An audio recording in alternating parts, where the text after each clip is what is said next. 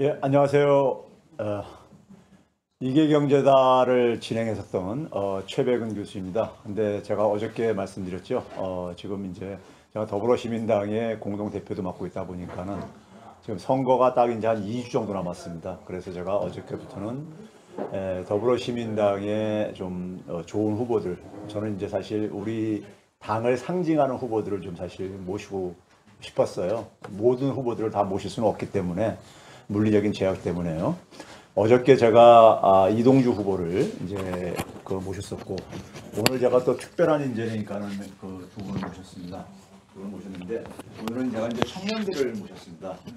저는 사실 그 교육적으로 한 30년 이상 어, 이 사- 삶을 살면서 어, 가장 제가 갖고 있는 꿈이 뭐냐면은 우리 청년들이 좀 미래에 대한 꿈을 좀 갖게 해주는 거.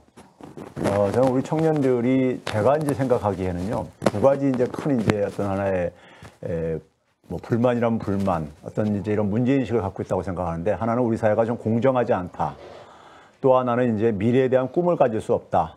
이제 이러는데 사실 그 부분에 있어서 저 같은 기성세대가 굉장히 책임감을 많이 느낍니다. 책임감을 굉장히 많이 느끼고요. 그래서 청년들 문제에 대해서 제가 굉장히 이제 사실은 어, 교육자를 떠나서 굉장히 관심이 많고요. 저도 자녀를 이제 키우는 입장이다 보니까요. 그래서 오늘은 이제 에, 20대 청년이 에, 저희 우리 미래당에 아니 아니 저희 저희 우리 미래당이래요. 어, 더불어 시민당에 세 분이 있습니다. 세 분이 있는데 앞에 이제 그러니까는 그 안진걸 조장의 민생경제에서 출연했던 전용기 후보도 이제 20대고요. 근데 앞에서 출연했기 때문에 에, 오늘은 이제 나머지 이제 그 두 분을 제 모셨습니다. 박은수 후보 어, 하고요. 그 다음에 이제 우리가 어, 이, 그 저- 전용기 후보, 아, 자, 아까 이제 권지웅 후보가 이제 앞에 이제 출연했었고요. 전용기 후보 두 후보를 모셨습니다. 먼저 좀 시청자들한테 인사를 해주시죠. 예, 저부터 예, 되나요? 네, 안녕하세요. 만 25살 올해로 갓 피선거권을 취득한 박은수입니다. 음, 더불어 시민당에서 이제 29번 후보인데요. 대한민국 최연소 국회의원이라고 합니다. 가장 어리다는 생각보다 가장 젊다는 생각으로 대한민국 국회를 가장 젊게 만들겠습니다. 예, 네. 안녕하십니까. 직전까지 더불어민주당에서 전국 대학생위원장을 맡아서 20대 당원들과 대학생 당원들의 목소리를 당 지도부에 가감없이 전달하는 역할을 했던 더불어시민당 비례대표 16번 전용기입니다. 반갑습니다. 두 분 굉장히 바쁘실 텐데 아, 예, 예, 아닙니다. 자리를 나와주셔서 감사합니다.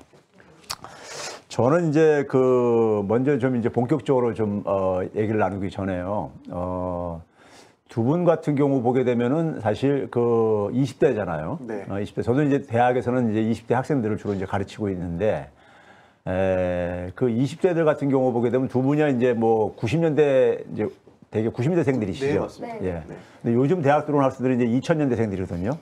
딱 20살이 2000년생이죠. 예. 지난해부터 이제니까는 20살 학생들이 들어오고. 네. 그래서 제가 이제 흔히 이제 21세기 세대들이 드디어 대학에 들어온다. 네. 그리고 21세기 100년을 꼬박 살아갈 세대들이다. 그런 얘기를 하고 그러거든요. 네. 그리고 또 하나는 어, 21세기는 20세기하고 큰 차이가 몇 가지가 발생할 텐데 이제 하나는 제가 이제 생각할 때는 아, 저희 인공지능하고 같이 공존을 해야 되는 네. 저희만 하더라도 저희가 살아온 시대 때는 인공지능이라는 게 사실은 그러니까 뭐 이렇게 SF 영화에서나 봤던 것들이었었고 근데 그게 현실화돼 가고 있고요. 또 하나는 이제 기후 위기에 이제 맞닥뜨릴 수밖에 없는 또 하나는 이제 남북이 통일이 될 수밖에 없다고 이제 한 뭐 2050년 전후로 해서 남북이 통일이 될 거라고 생각하는데 그게 이제 20세기에 태어났던 사람들하고 이제 전혀 다른 이제 그러니까 세상을 맞이할 것이라고 하는데 에, 전혀 다른 세상에 살아갈 그 세대들한테 저는 이제 교육제로서 봤을 때 교육은 20세기에 저희가 공부했었던 방식으로 여전히 계속해서 공부를 하고 시키고 있는 게 아닌가 하는 이런 좀 죄의식을 좀 갖고 있어요.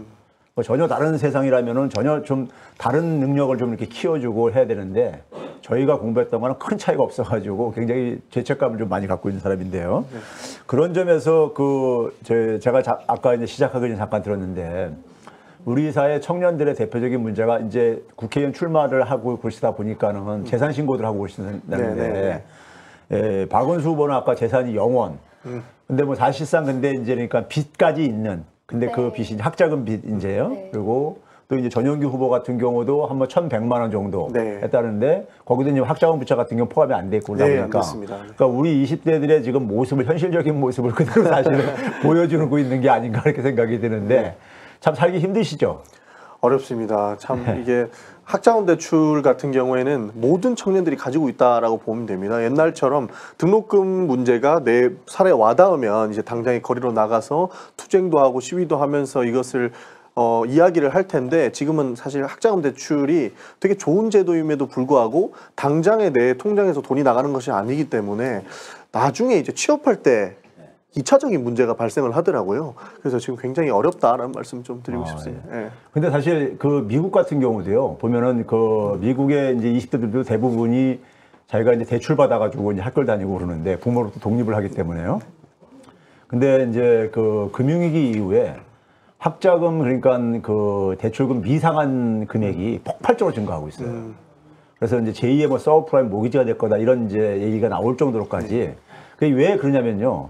과거에는 대학 졸업하고 나서 뭐 좋은 일자리 갖게 되면은 그거 가지고 이제 학자금도 대출받은 것도 갚고 상환하고 또 돈 모아서 집도 이제 그러니까는 이제 대출금 좀 섞어가지고 사고 그랬었는데 요새는 미국조차도 그러니까 이 좋은 직장 갖기 힘들다 보니까 대출금을 상환을 못 해가지고 그 상한 미상한 금액이 그냥 폭발적으로 증가를 하고 있더라고요. 그런 점에서 어떻게 보면은 젊은 사람들의 이 취업 문제는 아이가 뭐 전 세계적인 문제인 것 같긴 한데 그래도 하여간 한국 사회가 우리가 흔히 이제 뭐 저 헬 조선이라는 말도 많이 쓰고 그러시는데 두 분들 같은 경우는 좀 그 대학 시절이 굉장히 힘드셨습니까?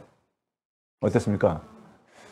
이제 대학 생활 제가 대학을 6년 정도 다녔는데요. 아, 근데 여대 같은 경우는 보통 이제 군필자가 없기 때문에 예. 4년 안에 스트레이트로 착 예. 졸업을 합니다. 근데 저는 이제 지방에서 서울로 올라와서 이제 용돈을 이제 매일 받을 수가 없으니까 아르바이트도 하고 예. 이러면서 휴학도 2년 정도 해서 돈도 벌어봤고 또 이제 그렇게 하면서 조금 힘들 아, 예. 우리- 보통 이제 남자 같은 경우에는 이제 군대 갔다 오고 나서 그 다음에 이제 자기 학업을 시작을 하는데요. 안 해본 알바가 없을 정도입니다. 저도 제일 기억에 남는 것은 어, 사실 그 삼성 디스플레이 아, 이제 방학 때 여름 방학에 그 시간을 짬 내서 삼성 디스플레이 가서 막 그 전기 공사하고 아, 예. 이제 전문가들이 시키면은 막 자재도 나르고 이런 활동을 한 두 달세달 많이 해놔야 예. 그 다음에 2학기 1학기를 좀 만들어갈 수 있어서 아, 네, 예. 안 해본 알바가 없이 열심히 살았다. 예, 이제부터 이제 본격적으로 좀 이제 얘기를 풀어가 보도록 하겠습니다. 박은수 후보는 지금 아까 본인 소개했듯이 최연소 또 이제 그러니까 25세부터가 사실 그러니까 네. 피선거권을 갖고 있는 저거죠. 근데 여성 중에서도 또 이제 최연소 네. 기록이죠. 네. 예. 그 여성뿐만 아니라 예. 남성을 통틀어서 그 최연소 후보자입니다. 66년 전에 김영삼. 대통령님께서 예. 27세의 나이로 예. 국회의원이 되셨는데 이제 제가 당선이 된다면 예. 그 기록을 깨는 헌정상 그 기록을 깨는 후보자가 될 것 같습니다. 아. 29번 또 30번까지 당선을 꼭 시켜주십시오. 예. 아, 하여간 그 기록이 좀 이번에 갱신이 되는 한국 네. 정치사에 좀 이제 그런 해가 됐으면 좋겠고요. 근데 제가 이제 그런 얘기를 들었어요. 그 정치가 어쨌든 간에 25세에 지금 국회에 네. 출마할 정도면은 정치의 입문은 더 전에 했을 거라고 생각이 드는데. 그렇죠? 그리고 어, 네. 예. 그 20살 1월이 되자마자 민주당으로 딱 가입을 했습니다. 근데 사실은 그 민주당원으로 가입한 게 정치의 시작이라고 생각하지는 않습니다. 제가 초등학교 3학년 10살 때였는데요. 이제 그때 저희 어머니께서 저희한테 이제 저녁 때뭐 이렇게 나가자고 잠깐 나가자고 막 과일도 싸고 가방에 이렇게 싸가지고 아, 예. 밖에 나가셨습니다. 그때 그 노무현 대통령님 탄핵 반대 아, 집회에 제가 아. 이제 처음으로 나가게 됐습니다. 근데 그때까지만 해도 저는 이렇게 밖에 나가서 막 외치고 이러는 거는 월드컵 아, 때만 그렇죠. 있는 일인 줄 예. 알았는데 그 촛불을 들고 이렇게 막 어머니가 외치시더라고요. 예. 그래서 제가 어머니께 여쭤봤던 기억이 있습니다. 왜 밖에 나가서 외쳐야 되는 거냐? 그냥 왜 하는지 모르겠다라고 했더니 어머니께서 세상을 바꾸려면 사람들이 많이 모여야 된다, 목소리를 어. 내야 된다라고 하셨고, 저는 그때부터 이 민주주의라는 거에 대해서 공부 조금씩 배우면서 아 이제 이런 게 민주주의구나 또 시민된 조직된 사람들이 모이는 게 민주주의구나라고 해서 생각을 해서 네. 이렇게 당원으로도 바로 가입을 했습니다. 어, 그러니까 어떻게 보면은 그 정치 DNA가 어머니가 일종의 깨시민이었었네. 네, 맞습니다. 저희 어머니가 뭐 환경 단체랑 뭐 시민 단체에서 활동하시면서 시위 같은 데도 많이 나가셨고 아. 이번에 그 조국 그때 장관님 예. 시위뿐만 아니라 아, 예. 그 촛불 집회도 계속 아, 나가시더라고요. 훌륭한 어머니 네. 되셨네요. 어, 정치 DNA를 그냥 그러니까 아주 충, 어, 저, 네. 풍성하게 갖고 계신 분이시네요. 근데 저기 그 전영기 후보께서는요. 네. 근데 저는 이제 그렇게 생각해요. 저희 세대 때는요. 그 20대 때 그러니까는 그래도 정치 지망 세대들이 좀 있었었어요. 근데 요즘 20대들한테는 정치라는 건 그렇게 인기가 없는 영역인 것 같은 생각이 저는 들, 들거든요. 그러니까 정치가 워낙 재미가 없다 보니까는 국민들한테 사실 즐거움을 주기보다는 짜증을 주로 많이 주는 이런 영역이다 보니까는 20대들이 별로 관심을 안 갖는 영역이 아닌가 생각이 드는데 네. 정치를 왜 하시려고 하게 됐어요? 음, 사실 저도 처음에는 정치를 하려고 하지는 않았습니다. 예. 처음에는 이제 선생님의 꿈을 가지고 아. 열심히 이제 교직 이수도 하면서 공부도 하면서 했는데 어 제가 안산에서 대학 생활을 했었거든요. 아, 예. 근데 이제 세월호 문제를 직면했습니다. 아. 직면하면서 진짜 한 3일 4일을 잠 못 자고 TV만 붙잡고 있었거든요. 어, 그러면서 아 이제 목소리를 내야겠다. 어 그냥 당연히 당장 직면한 문제에 목소리를 내야겠다라고 해서 뭐 학생회 활동도 했었고 정치에 딱 저 제가 뛰어들게 된 것은 박근혜 국정농단 아, 예. 때 그 전에도 계속 뭐 정치적인 목소리를 내고는 있었지만 그 최순실 뭐 시국 그, 그 국정농단 예. 게이트 때 최순실 게이트 때 제가 그 11개 대학 총학생회 연합 시국선언을 좀 이끌었거든요. 아, 그러면서 예. 당장에 이제 나가서 외치는 거 수밖에 없다. 네. 청년들도 관심을 가져야 된다라고 해서 저도 관심을 가지게 됐고 저의 계속적인 목표는 정치가 신뢰를 받으면서 우리 20대, 30대 청년들이 우리 정치에 관심을 가지고 나라를 바꾸는데 일조했으면 좋겠다라는 뚜렷한 목표 의식을 가지고 있는 아, 그런 상황입니다. 네. 예, 좀 이제 그 자세한 얘기는 좀 더 뒤에 들어보도록 하고요. 음. 네네. 이제 박은수 후보는 사실 제가 오늘 청년을 이렇게 소개를 했지만은 청년을 소개했지만 사실 여성 이제 그 후보로서 이제 그이 선정이 되셨었죠. 네, 네. 예. 그럼 이제 그 사실 청년이면서 여성이라는 거니까 두 가지 부분을 다 가지고 있는 어떤 후보인데요. 청년 어, 여성 청년이 갖고 있는 의미는 뭘까요? 우리 사회 속에서요. 음, 우선은 제가 그 더불어민주당에서 여성 부문 비례대표로 이제 네. 선발이 된 유일한 후보입니다. 이제 그 면접 과정에서 똑같은 제가 질문을 받았는데요. 아. 왜 최원수 후보인데 청년이 아니라 여성으로 지원했는지 아, 많은 예. 분들이 궁금해 하시더라고요. 근데 이제 제가 생각했을 때 일단 청년 후보분들은 정말 많은 훌륭한 후보분들이 계시기 때문에 그 기존의 청년 담론분들을 대변하실 후보분들이 많다고 생각을 했습니다.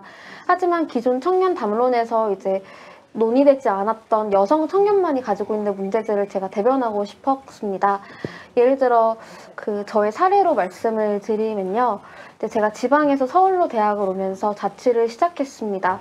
한 달에 5, 60만 원 정도 월세를 꼬박꼬박 내면서 이제 그 생활비를 버느라 사실은 너무 생활고에 시달렸던 또 학생이자 청년이었습니다.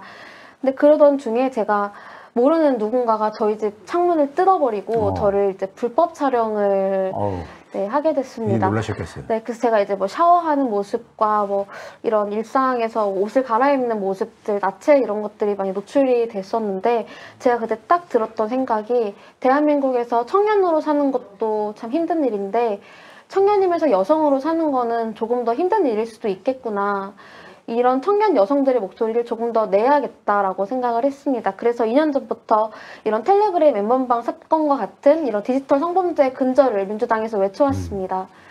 근데 이제서야 이제 많이 논의가 되고 있는데 이런 부분을 더불어 시민당에서 또 근절을 이제 근절의 목소리를 내는 후보가 되고 싶습니다. 네. 아, 그래서 저기 그 타이틀 보니까 디지털 성범죄 대책 어린이 청소년 여성 본부장직이 네, 네. 그래서 이제 맡으신 거, 이제 배경이 있군요. 전 당사자 정치가 중요하다고 네. 생각하는 입장입니다. 그 아무래도 또 디- 우리 한국 사회에서 이런 성범죄 피해자들은 이렇게 목소리를 내고 하는 게 참 어렵다고 생각이 드는데 그런 또 피해자들에게 용기도 주고 싶었고 또 여성들에게도 용기를 주고 싶어서 출마를 하게 됐습니다. 제가 박원수 후보 얘기 들어보니까요. 제가 이제 하나 생각나는 게 있는데 제가 80년대 초에 이제 미국에 유학을 갔을 때 제가 제일 먼저 관심을 가했던 이제 주제가 뭐였었냐면요. 당시에 한국에서는 그 이제 전두환 정부 때인데 전두환 정권 때인데 막 금서로 해가지고 많은 자료들을 접근하기 힘들었었어요. 심지어 뭐 뉴스위크 같은 경우도 뭐 잘려가지고 막 이렇게 배포가 될 정도로. 근데 가서 제가 제일 먼저 관심 가졌던 게 그 미국의 밑에 보게 되면 중남미 국가 중에 니카라과라는 국가가 있어요. 니카라과 국가가 이제 소위 70년대 말에 산디니스타 혁명이 이제 일어난 이제 나라인데 미국의 앞마당에서 그러니까 이제 소위 사회주의 색깔을 가진 정권이 이제 그러니까 혁명 정권이 이제 수립됐는데 그걸 제가 이제 그 플레이보이 잡지에 그것도 굉장히 강한 게 플레이보이 잡지에서 굉장히 어떻게 보면 포스트 모던적인 어쨌든 간에 이런 취재 방식인데 한쪽에는 막 누드 이제 그러니까 이런 플레이보이 잡지의 여성 모델들이 있고 한쪽에는 그러니까 그 혁명군 혁명 정부의 그러니까 주요 인사들을 쭉 인터뷰를 쫙 해가지고 실었어요. 그 얼마나 사실 대비되는 네. 문제예요. 근데 제가 또, 아, 또 하나 놀란 건 뭐냐면은 그 산디니스타 해방군에 혁명 그 이제 그러니까 이 총사령관이 미모의 여성이었었어요. 30대. 그래서 이제 그 부분을 제가 이제 그래서 어, 어떻게 이런 데 참여하게 됐는가 이렇게 보- 읽어보니까는 어, 이런 얘기가 굉장히 인상, 이 당시 인상 깊었는데 자기가 이제 대학을 다닐 때 대학을 다닐 때 이제 자기 이제 그러니까 그 친구들 이제 남학생들 같은 경우는 민족 해방에 대해서 전부 다 이제 그러니까 관심들을 갖고 하는데 자기는 사실 개인적으로 관심이 에, 자기 할머니, 어머니의 삶, 삶을 지켜보면서 그러니까 이렇게 고생하면서 남성 중심이었던 이런 문화 속에서 고생하면서 살- 살면서 여성 문제에 굉장히 관심을 가졌는데 대학에 와서 보니까는 자기 친구들의 남자들은 그 문제 별로 관심이 없더라 이거예요. 아, 네. 그래가지고 자기가 생각한 게 뭐냐면은 아 이 민족 해방에 자기가 참여를 해가지고 기여를 해야지만이 여성의 발언권이 좀 확보가 될 것 같다. 그래야지만이 여성들의 어쨌든 문제를 좀 제기를 내부에서 할 수 있을 것 같다. 이런 이제 얘기를 하는 걸 보면서 제가 상당히 다시 이제 좀 이제 감동을 받았었거든요. 그래서 이제 그 민족 문제하고 여성 문제를 어떻게 이제 그러니까 결합시킬 것인가 하는. 근데 지금 박원수 후보 얘기 들어보니까는 그런 느낌이 좀 들어가지고 제가 좀 말이 좀 길었습니다. 아, 우리 저기 그 지금 이제 궁금한 건 이거예요, 사실은요. 네. 청년들이 국회에 들어가게 되면은 네. 과연 어, 정치가 어떻게 바뀔 것인가.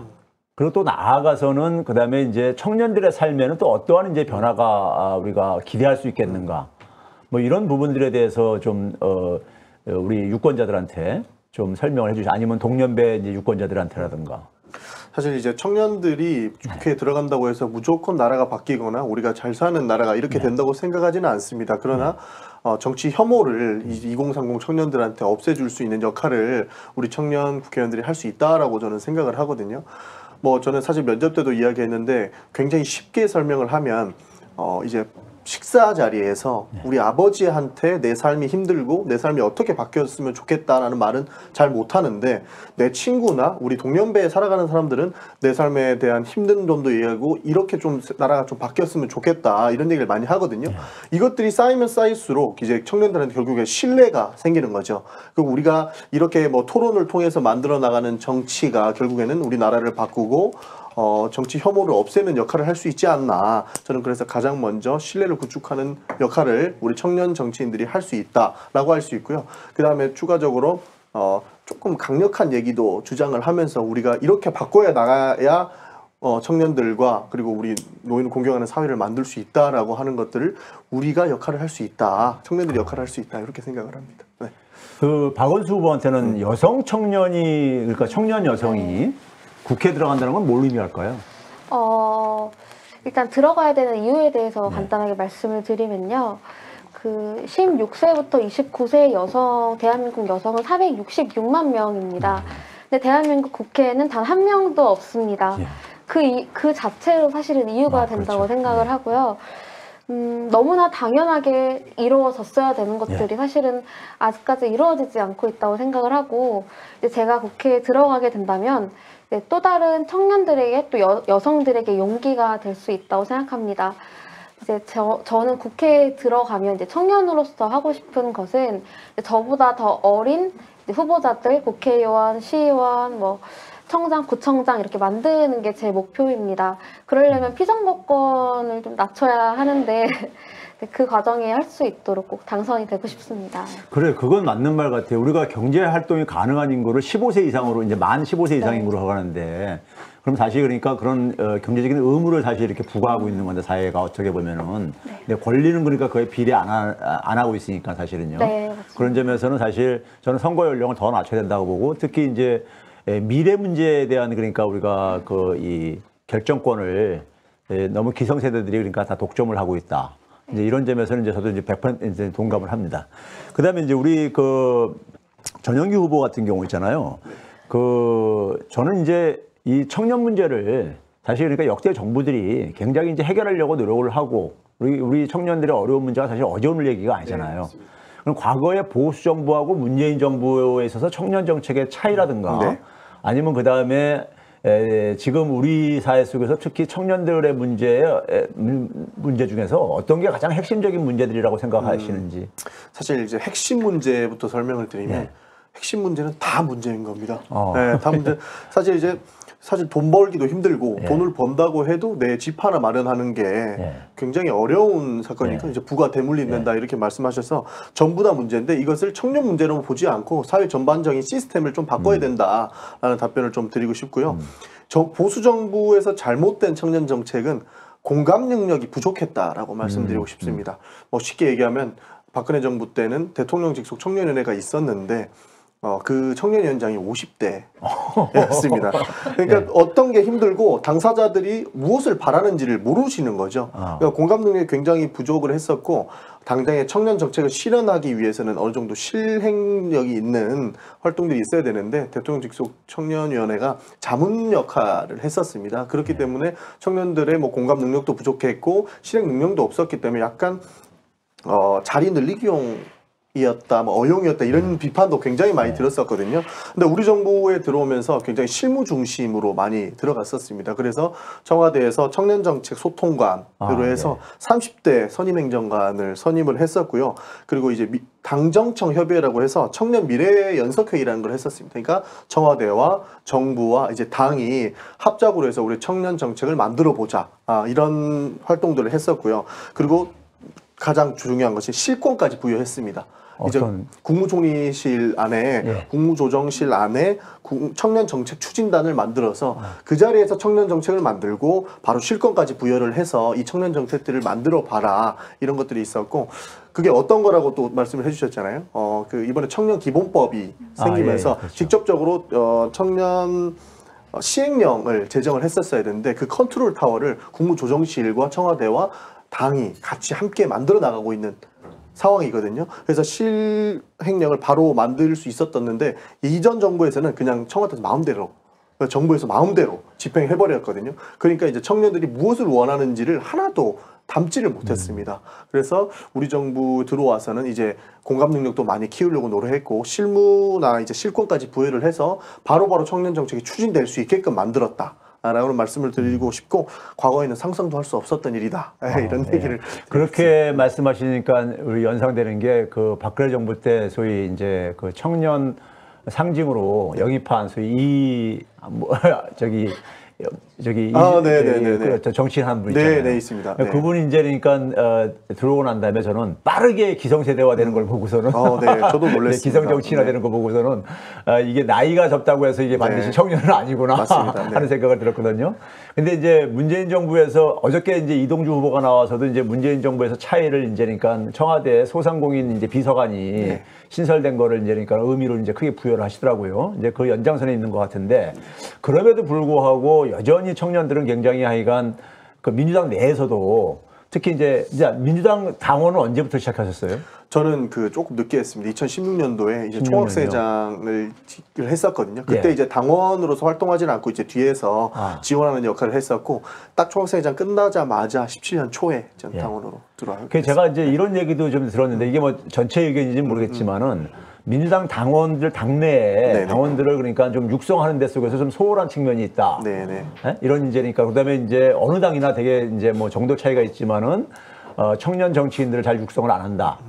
뭐 이런 이제 그 불만이 민주당 내에서도 있지 않나요? 있었습니다. 청년 정치인들을 키우려고 하지 않고 이제 영입해 온다라는 그렇죠, 비판을 예. 굉장히 많이 받았습니다. 그래서 사실 제가 이 자리에 있다라는 말씀을 예. 드리고 싶은데 사실 저는 민, 더불어민주당에서는 6번을 받았었거든요. 아, 6번을 예, 받았고 예. 우리 시민당에서는 16번을 받았는데 전국 대학생 위원장을 어, 우리 국회의원 후보로 만들어 보자라는 청년 전, 청년위원회나 대학생위원회 전체 염원이 있었다라는 말씀을 드리고 싶습니다. 왜냐하면 전국 청년위원장은 이제 지역에서 동대문을 지역에서 굉장히 큰 역할을 하고 있고 대학생위원장조차 우리가 진출시키지 못한다면 앞으로 민주당에서 어, 육성하는 시스템을 다시는 찾기 힘들어질 수 있다. 그렇기 때문에 모두가 한번 뛰어보자라고 해서 진짜 한 명의 청년도 빼놓지 않고 전국에서 붐을 일으켰었습니다. 어, 그래서 이제 80만 권리당원의 투표로 투표에 이제 네 표 중에 한 표는 우리 청년 육성 인재 한 번만 찍어 주십시오라고 당원들한테 많이 홍보도 했었고요.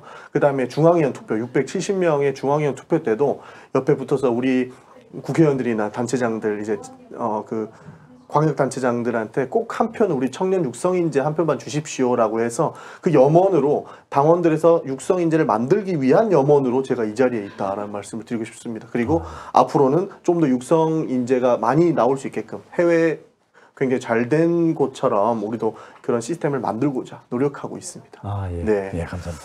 그 박원수 후보한테는요. 지금 현재 아직도 공부도 하고 계시다고요. 네, 지금 대학원 2학기 예. 학생입니다. 근데 그 전공을 보니까 그 위기 관리학이라고요?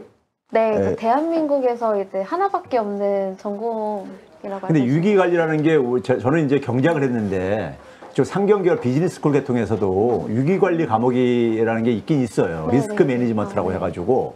근데 그거는 주로 이제 보험학을 하시는 분이라든가 아니면 투자론에서 이제, 하- 이제 주로 이제 많이 하는 건데 지금 박은수 씨가 하는 것은 어떤 학문인가요? 이제 위기라는 거는 상당히 이제 많은 게 그렇죠. 큰 영역인데 예를 들어 현재 지금 코로나 사태도 아, 이제 예. 위기 관리학 예. 다루고 있는 이제 전염병에 관련한 이제 학문이고요. 또 이제 최근 텔레그램 엠번방 같은 어떤 인간 안보에 대한 어떤 위기 관리학의 학문 중에 하나인데요. 저는 그 중에서도 인간 안보에 조금 더 초점을 아. 맞춰서 연구를 하고 있습니다. 제가 이제 위기관리학과에 진학하게 된 이유는 그 일본군 위안부 음. 관련된 활동들을 대학원, 대학교를 다니면서 뭐 시위도 나가고 계속 시위를 나가긴 했는데 네. 계속 시위도 나가고 이렇게 집회도 나가고 이렇게 하면서 이 일본군 위안부 문제가 결국에는 이제 그 민족주의적 관점에서 바라보면 어떤 나라가 뺏겼을 때 어떤 우리 민족의 아픔이기도 하지만 한 여성의 입장에서는 또 이제 민족 이제 국가 어떻게 말씀드려야 되지? 또 이제 한 여성의 입장에서는 이제 그 국가가 사실 여성을 여성의 어떤 자기 결정권이나 인권을 침해한 저 사례이기도 국가 폭력의 어떤 사례죠. 네, 국가 예. 폭력에 기인한 사건인데 예. 이런 문제들을 보면서 이제 기존에는 국가 안보라고 하면은 뭐 전쟁에서 누가 이기냐 음. 이런 군사 안보가 위주였다면 사실은 최근에 들어서는 전염병이나 이런 문제들이 인간 안보에 기인하고 있다고 음, 생각했기 때문에 위안부 문제 해결에 좀 초점을 맞추고자 일단 그 위기관리학과에 진학을 하게 되었습니다. 아, 예. 대충 제 나름대로 이해를 하면 그런 것 같아요. 우리가 기존에는 어떤 하나의 국가 중심이었던 네. 간에 이런 안보 개념이라고 한다면은 개인의 어떤 하나의 그 삶들, 특히 이제 어떤 재난이 닥쳤을 때 가장 가게 취약계층들, 약한 사람들이 특히 네. 이제 피해를 많이 입고 그러는데 그런 부분에 주로 이제 관심 저거구만요. 네. 제가 최근까지 이제 연구했던 주제가 사실 지금도 이제 대학원에서 이제 뭐 숙제도 하고 그럼 네. 어제도 이제 숙제를 하고 왔는데요. 그 지금 연구하고 있는 주제가 코로나가 이제 발생하면서 이제 전 국민과 전 세계가 이제 힘들어하고 계시고 있으시지만 이제 아이들이나 학생들이 이제 학교를 가지 않으면서 그 보육에 대한 부담을 이제 여성들이 많이 짊어지게 되면서 이제 여성이 어떤 육체적인 피로도나 이런 것들이 더 가중되면서 더 취약해진다고 하더라고요. 그래서 이제 그런 위기 상황이 발생했을 때 이런 취약계층들을 어떻게 국가가 보호할 수 있는지 이런 것들을 좀 연구하고 있습니다. 아, 그래서 제가 그래서 위기관리학을 왜 정치를 하시려면서 정치를 하시려고 하시는데 왜 이런 학문을 하는가 했는데 이제 좀 이해가 가네요. 네, 예. 근데 좀 이제 두 분한테 좀 이건 굉장히 난처한 질문일 수도 있겠는데 근데 어쨌든 간에 이 시대를 살아가는 저 20대들이 다 이제 맞닥뜨리고 있는 문제이기 때문에 좀 이제 그 부탁을 드리고 싶은데 저도 이제 그 제 우리 집 막내가 지금 이제 그러니까 그, 박, 그 박은수 씨하고 이 연령 저기 저 연도는 같아요. 저 이제 11월생이긴 하지만은 한데 이제 늦동인데 우리 애들은 이제 이제 다 30이 넘었고요. 예, 근데 늦동인데 근데 이제 제가 또 가끔 이제 그런 얘기를 해요. 이제 밥상에 앉아서 이제 갈 때면은 어, 요즘 이제 보게 되면은 그 20대 남성과 여성 간에 성적인 갈등 이게 굉장히 강하잖아요. 그러니까 이제 소위 말해서 여성들은 여전히 뭐냐면 자기들이 불리하다. 제도적인 어떤 저는 그 이제 이해가 가요. 저희 세대 같은 경우는 거기에 대해서 명쾌한 답을 갖고 있어요. 왜냐하면 저희 세대는 누이에 대한 굉장히 미안한 마음들을 많이 갖고 있어요. 그러니까 쉽게 얘기하면 이런 겁니다. 어, 저희가 갈 때 소득이 낮았을 때다 보니까는 에, 좀 집안이 어려운 경우에는 딸이 머리가 똑똑해도 딸은 그러니까 고등학교만 여상 다니고 되게 이제 취업을 하고 어, 아들이 그러니까 잘 돼야 된다 해가지고 이제 특히 아들 중에서 장남한테 이제 그러니까는 투자를 이제 그러니까 집안에서 집중적으로 하는 그러다 보니까는 누이의 희생을 통해 가지고 어, 이 그 남자 형제들이 많이 그걸 보다 보니까는 그 여성에 대한 배려라든가 여성에 대한 미안한 감들이 저희들은 그러니까 자연스럽게 갖고 있는데 요즘 세대들은 보면 그게 전혀 아닌 것 같아요. 근데 저도 사실은 뭐 아, 자녀들 키울 때 보면은 딸이라고 해서 전혀 불리하게 키운 건 없거든요. 네, 네. 개인적으로는 그럴 게 아니겠습니까? 부모들이 볼 때는요. 네, 대부분의 부모들이요. 그러다 보니까는 어, 내가 별로 저기 저 혜택 본 것도 없는데 에, 저기 저왜 근데 저기 여성을 더 배려를 해야 되느냐. 뭐 이제 이런 이제니까 논란들이 있잖아요. 솔직히요. 거기에 대해서 좀 뭐 어려운 질문이긴 하지만은 네. 이제 저도 사실은 이제 여성 비례대표, 여성 부분 비례대표로 출마를 하고 또 청년 여성을 대변하겠다라고 하면서 이제 막 악플도 사실은 많이 받았고 어, 예. 이제 그런 그랬었는데요. 이제 솔직한 이제 제 말씀, 제 의견을 말씀드리자면 이제 제가 여성의 목소리를 대변하고자 하는 것은 뭐 남성이 더 우월하다, 뭐 남성이 더 피해보지 않았다 이런 차원에서 말하는 게 아니라 이제 기존의 정치권에서 여성 청년에 대한 어떤 예를 들어 텔레그램 같은 문제들이 이제 많이 이제 논의되지 않았기 때문에 그런 목소리의 주체로서 이제 목소리를 내겠다라고 하는 거고요. 그리고 실질적으로 이제 여성을 위한 정책이라고 만들어진 것들이 실제로 보면은 모두를 위한 정책이기도 하거든요. 예를 들면 이제 더불어민주당의 정은희 국회의원께서 발의하신 라테파파 법안이 있습니다. 이제 그 법안은 이제 엄마의 그런 뭐 독방 육아를 이제 막고자 아빠와 엄마가 공동 육아를 할 수 있게끔 이제 만든 법안인데요. 이 법안은 독방 육아나 이런 걸로 힘들어하는 엄마를 위한 법안인 것 같아 보이지만 실제로는 아이를 너무 사랑하는데 회사 일로 바빠서 일하지 못 아이와 함께 시간을 보낼 수 없는 아빠에게도 사실 너무나 필요한 법안입니다. 이제 그렇지만 이게 사실은 뭐 여성만을 위한 법안이다라고 언론에서 막 이렇게 하는 것 같은데요. 저는 이제 국회에 들어가서 이런 제가 만들고자 하는 법안들이 이렇게 사회적 약자뿐만 아니라 공동체 모두를 위한 것이라는 것들 좀 전하고 싶고 소통하면서 남녀 갈등이 아니라 이제 모두의 이제 모두를 위한 법안이다라는 걸 좀 이야기하고 싶습니다. 네, 우리 조정 교수님. 네, 사실 남녀 갈등을 일으키는 거는 굉장히 잘못된 행위라고 보여요. 지금 20대 남성들고 여성들도 똑같이 남녀 평등을 이야기하고 있고 기성세대들이 했었던 이제 갈등들을 이제는 없애야 된다라는 주의를 굉장히 그런 생각들을 많이 가지고 있습니다. 그러나 이제 뭐 저한테 질문을 해주신 건 이제 남성들의 입장을 한번 들어보고자 했던 네. 거잖아요.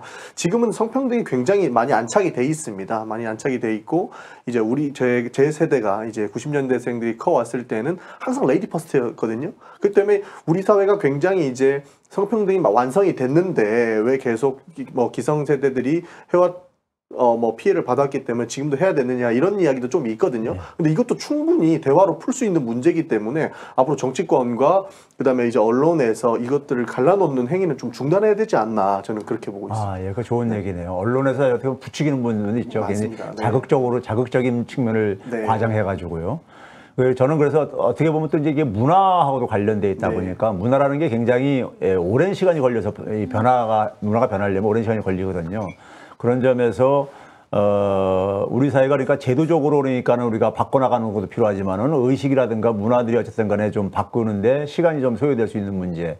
이런 쓴 점에서 좀 두 분의 역할을 좀 이제 기대를 할 거고요. 사실 이제 오늘의 이제 사실은 핵심이자 결론은요. 저는 이거라고 생각해요.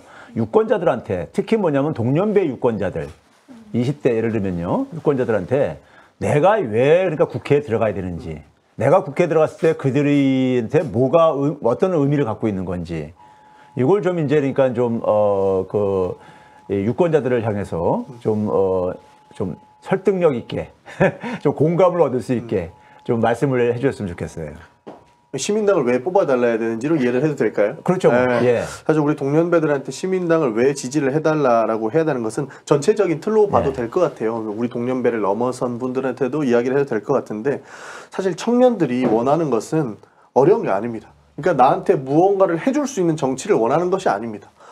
그냥 이제 나라가 정상적으로 흘러가고 상식적인 사회가 되길 원하는데 정치권은 매일 싸우기만 하니까 이 문제가 된다라고 얘기를 하는데 지금 우리 더불어시민당 같은 경우에는 이를 대변해 줄 어, 준비된 청년 정치인들이 많다라는 이야기를 먼저 해주고 싶습니다. 이 비상식을 상식으로 바꾸는 것은 어려운 게 아니거든요. 예를 하나 들면은 얼마 전에 그 강원랜드 부정채용 이슈가 아, 예. 굉장히 핫했었죠. 근데 이제 부정채용 이것을 부정으로 채용됐던 사람들을 해고하고 다시 뽑아야 한다라는 것이 이제 국민들 여론상 그리고 청년들의 상식선이었거든요. 부정으로 들어왔기 때문에 당장 이것을 해결, 그 해결하고 공정하게 다시 채용을 해야 된다라고 했는데 우리 또 지금 미래, 미래통합당인가요? 자유한국당에서 굉장히 심하게 반대를 했었죠. 뭐가 문제를 모르는 거예요. 그분들은. 네. 사람들의 공감 능력이 떨어지기 때문에 청년들이 무엇을 원해도 그것을 올바로 해석하고 올바로 답변을 주지 못하는 것들이거든요.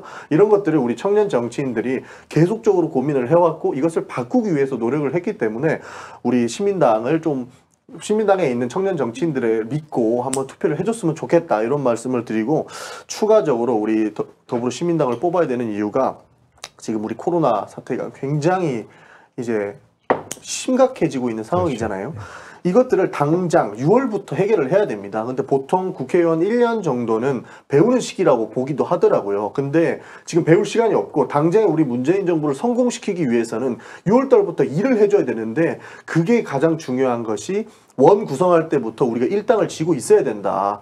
한, 가- 한 자리의 상임이라도 우리 그 공감 능력이 부족하신 미래통합당 이런 분들한테 뺏길 수 없기 때문에 우리 더불어 시민당에 힘을 모아 주셔야 된다. 우리 이것들 청년들을 넘어서 우리 많은 지지자분들, 민주당 지지자분들이 우리를 좀 다시 한번 봐주셨으면 하는 예, 그런 내용이라고 말씀드리고 싶습니다. 예, 우리 박운수 네. 후보도. 어, 이제 저는 시대적으로 나라를 이끌어갔던 주체는 청년이라고 생각을 합니다.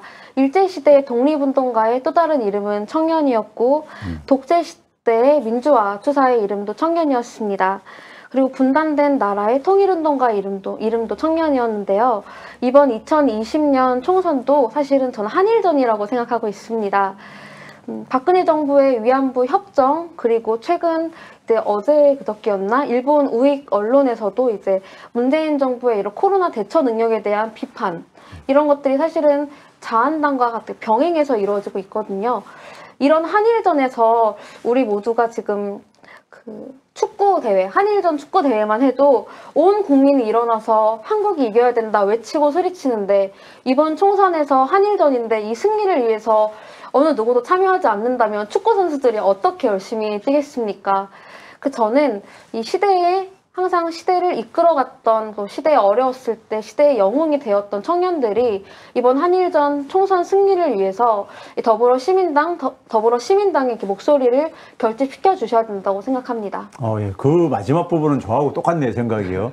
제가 사실 그 지난해 7월 달에 일본에서 이제 이렇게 경제 도발해 왔을 때 도발해 왔을 때 그때 저는 이 그 부분을 어떻게 이제 이해를 했냐면은 당시 제가 뉴스공장 나가가지고 예, 문재인 정권을 이제 자초시키려고 하는 것이다.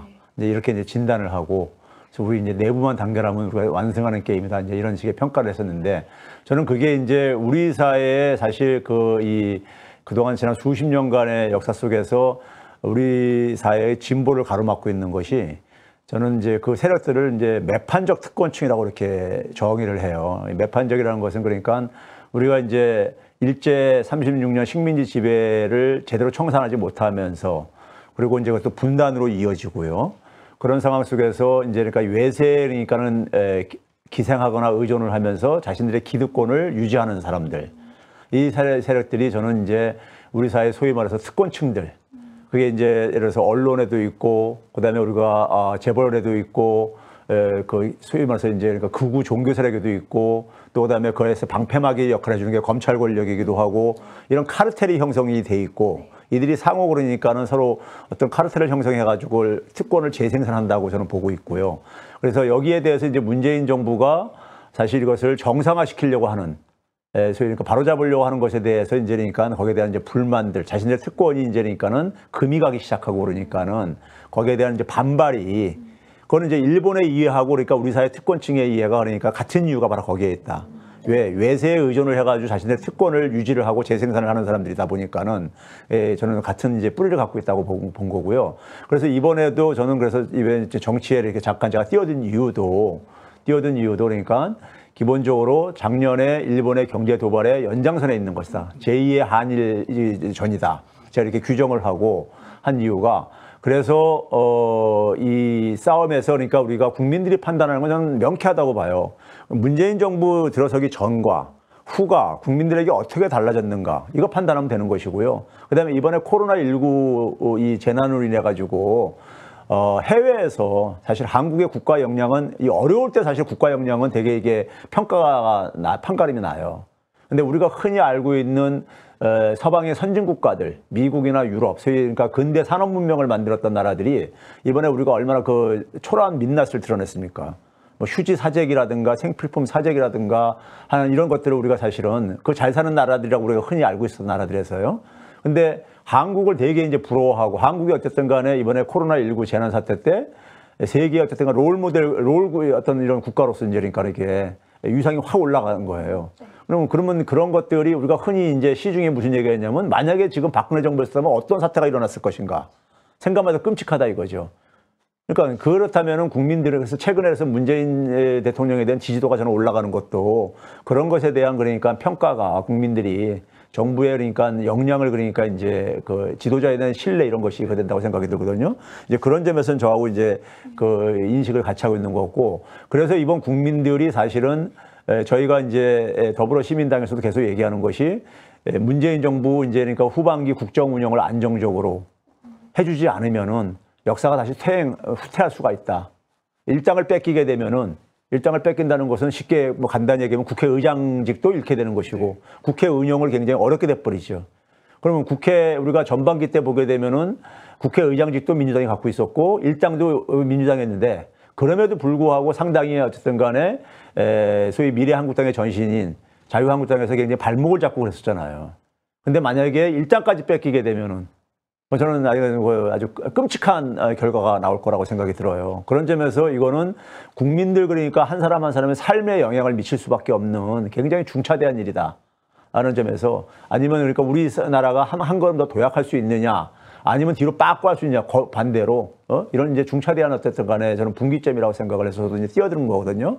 그런 점에서는 그러니까 우리가 아, 같은 어떤 인식을 공유하고 있는 것 같고요. 그래서 이번에 더불어시민당에 그래서 저희가 아, 이, 이 더불어시민당에 굉장히 좋은 후보들을 많이 사실은 그랬어요. 소위 말해서 셀럽은 아니라 하더라도 한 사람 한 사람 뜯어보면은 참 진짜 어디 내놔도 자랑스러운 후보들. 두분또 그러고 어, 외모들도 출중하시고 그러시는데 예, 선남 선녀들이신데 그런 이제 이런 그 저 각 분야에서 어쨌든 간에 각 분야를 대표 비례 후보라는 건 사실 각 분야의 전문성을 사실 또 갖춰야 되는 거예요. 그러니까 어떤 셀럽을 그러니까 우리가 이게 에, 그 뽑는 대회가 아니라 인기 투표가 아니라 사실은요. 근데 이제 에, 너무 이제 저를 볼땐 과소평가돼 있다. 우리 더불어민주당, 더불어 시민당이니까 이 후보들이요. 그래서 제가 이제 이런 이제 자리를 만들고 굉장히 지금 바쁨에도 불구하고 만든 이유는 국민 유권자들한테 조금만 좀 더 알려드려야 되겠다. 이제 이- 이런 그래서 이제 시간을 만든 거고요. 끝으로 이제 그러니까 뭐 우리 유권자들한테 서비스 차원 속에서 좀 이제 두 분이 좀 이제 좀 잘할 수 있는 거 한 가지씩 좀 좀 뭐좀 보여주 보여주시죠. 삼행시 아, 삼행시 하실래요? 삼행시 아, 예. 전 노래 같은 거 좀 했으면 좋겠는데. 그럼 그래도 이제 저를 또 알릴 수 있는 피해로서 예, 삼행시 그렇죠. 한번, 아, 네. 그것도 예. 네. 전용기로 한번 해보겠습니다. 예, 제가 부를까요? 예, 예. 예. 전, 전용기를 타고 세계 대통령이 되신 문재인 대통령과 함께 어, 용, 용기 있는 변화를 만들겠습니다. 어, 기. 기대해 주십시오. 아, 아, 좋습니다. 예. 우리 박은수 후보는 뭐 노래 한 곡 안 하실래요? 네, 저는 노래를 준비하라고 하셔가지고 노래를 한 소절 아, 예, 준비했는데요. 고맙습니다. 네. 유권자들이 굉장히 예, 즐거움을. 그냥 MR 없이 하나요? 예. 네. 아마도 그건 사랑이었을 거야. 희미하게 떠오르는 기억이 이제야 그 마음을 알아 버렸네. 그대 눈에 비친 나의 모습을 아유, 잘하시네요. 고맙습니다. 어, 어떻습니까? 유권 저기 저 시청자 여러분들 오늘 즐거우셨죠? 어, 제보다는요 그리고 에, 우리 청년 어, 후보들 한 분은 이제 여성 청년이고 어, 한 분은 그냥 우리가 남성 청년이지만은 청년 후보들 참 훌륭하시죠. 저희 그 이 더불어 시민당 이제 좀 믿고 좀 화끈하게 이번에 좀 지지를 해줬으면 좋겠습니다. 이번 총선이 4월 15일입니다.